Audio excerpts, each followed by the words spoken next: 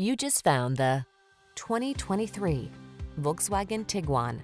Take a closer look at this Volkswagen Tiguan, the fuel-efficient compact SUV with standout flexibility.